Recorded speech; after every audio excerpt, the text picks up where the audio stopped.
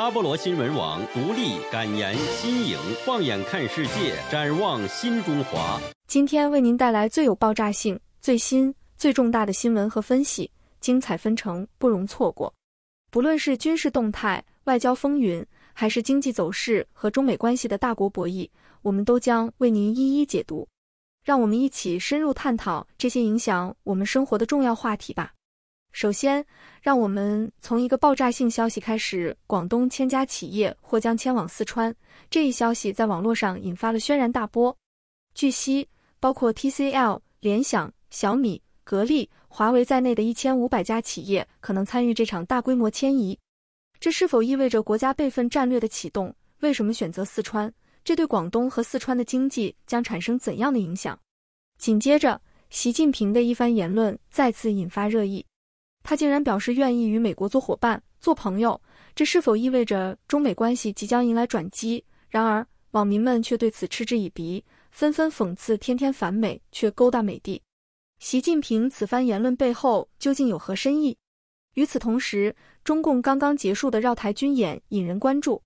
这场仓促收场的军演究竟达到了什么目的？更令人玩味的是，习近平随后现身福建东山岛。这个行程有何特殊含义？是否仅仅与台海局势有关？我们为您独家解读。最后，我们将关注美中关系的最新动向。大熊猫外交重启，这是否预示着两国关系即将解冻？背后又有何战略考量？局势正在快速变化，谁将在这场博弈中占据上风？让我们拭目以待。欢迎收看阿波罗网主频道热点直击。今天是十月十六号，星期三。我是李小雨。爆炸性大消息，要开战！广东千家企业或迁四川，网炸锅。本周二十五日，中国网络近日盛传广东一千五百家工厂计划迁移至四川，引发网络炸锅热议。如属实，这将是广东四十年来最大规模产业转移，或标志国家备份战略启动。据公众号木心称，惠州的 TCL、联想、小米。格力、长虹、海尔、华为等一千五百家企业将开启大规模迁移。据路媒财联社九月二十五日报道，国家将引导企业从东部向中西部转移。在高层批复的国土空间规划中，四川成为唯一一个被点名的战略腹地。多个公众账号称，此次产业转移不仅是企业寻求低成本环境，更体现中国在复杂国际形势下的战略考量。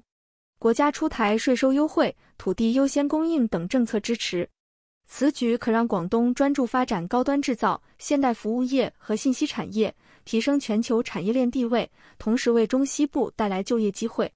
不过，中国媒体尚未对这一热门话题作出报道，也未公开否认。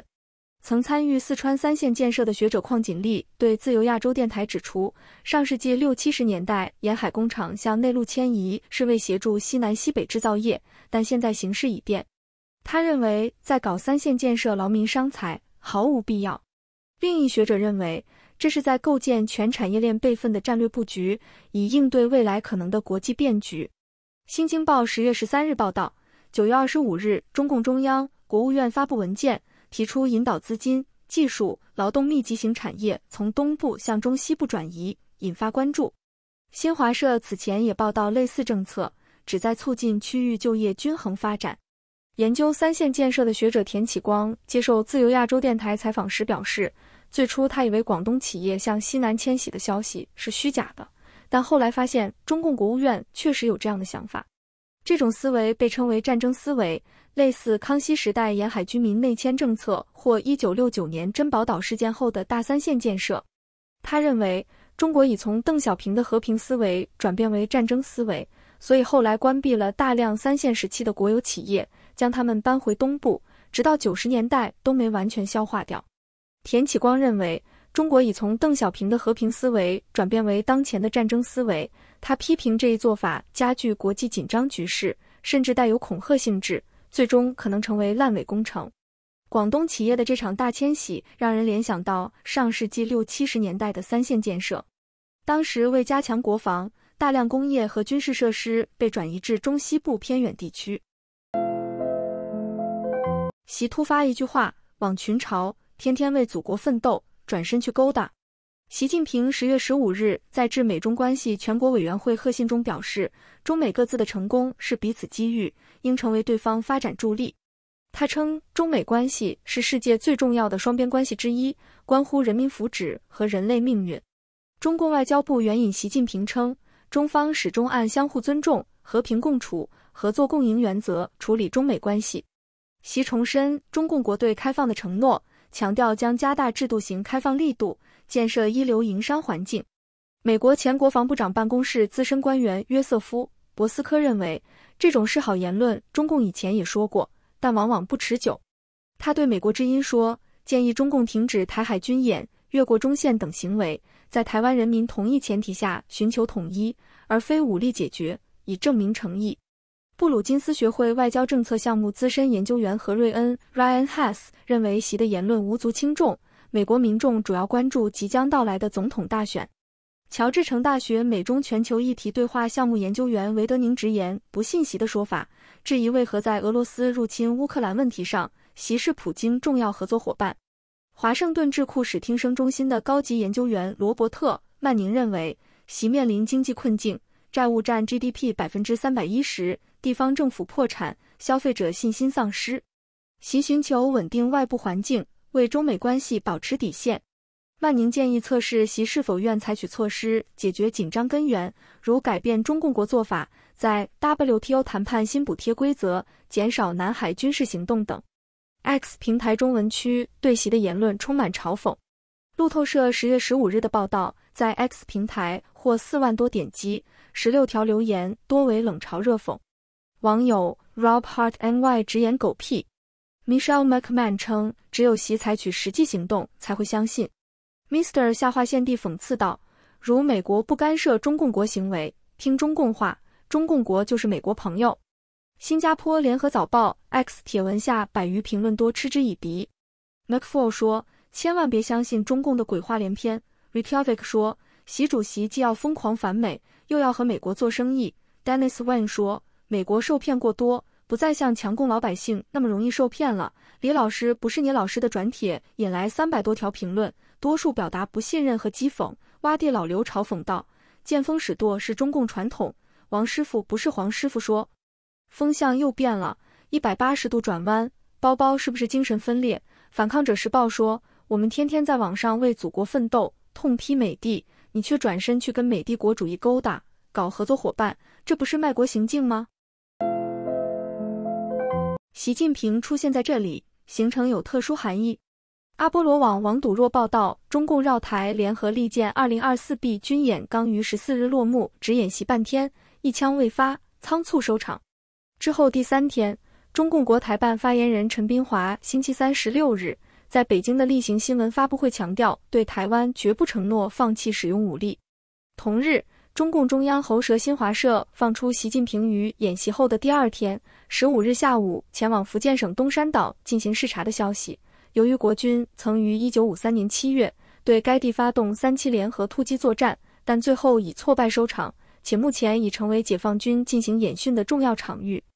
因此，虽然报道指出习近平主要在了解东山岛文化振兴与传承的情形，但该行程似有特殊意涵。阿波罗网评论员王笃然分析，此次军演是三大完败：首先是对内没达到鼓动和宣传的作用，热搜惨遭匆忙撤下。第二是对外显示对赖清德总统的祖国论、领土论、两国论无可奈何，文攻是因为没有任何道理，无法取胜，武士不敢打，连民调调侃的炸鱼都没有。第三是对美国国务院公开发声警告中共不可轻举妄动，采取了合作的姿态。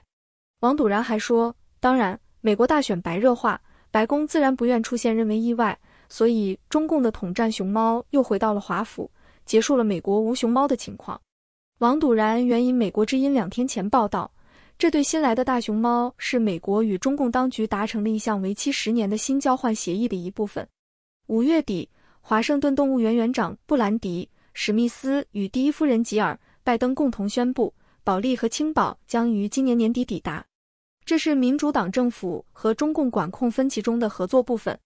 路透社指出，台湾国安局长蔡明彦十六日在接受媒体访问时。表示共军此次军演得到反效果，只会促使国际社会更加支持台湾。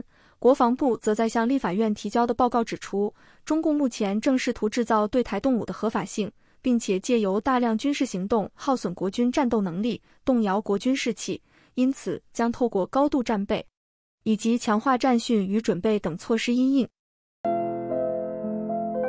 今天副频道的最新内容是：今天我们为您带来一期深度解析中共国当前经济局势的特别节目。首先，我们将聚焦北京仓促转向，让情况更糟。为什么政策转向反而加剧了经济困境？这背后反映了怎样的决策问题？接着，我们将为您揭示中共国这报告难说谎，官方亮点泄露惊人真相。